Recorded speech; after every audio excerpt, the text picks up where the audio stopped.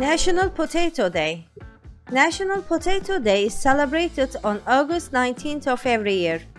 Whether baked, fried or mashed, these taters bring on the flavor. They are a staple of many meals too. Filling a void for appetizer dishes and working double duty at supper time, these versatile root veggies satisfy and fill us up.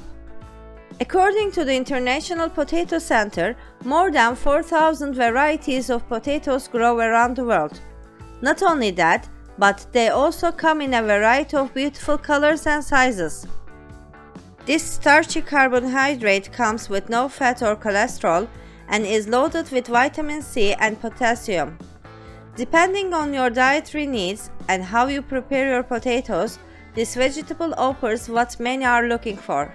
The first region where the potato was first domesticated in modern-day southern Peru and extreme northwestern Bolivia between 8000 and 5000 BC.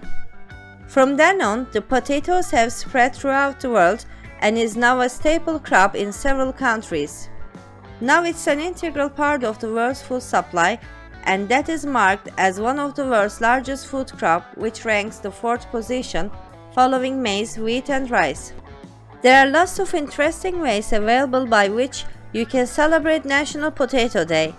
You can add potatoes in small quantity in the daily meal you prepare.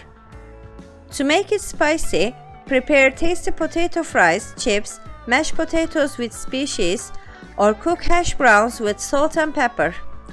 To be more creative, you can try out a new dish yourself with potatoes and serve them hot to your friends and family.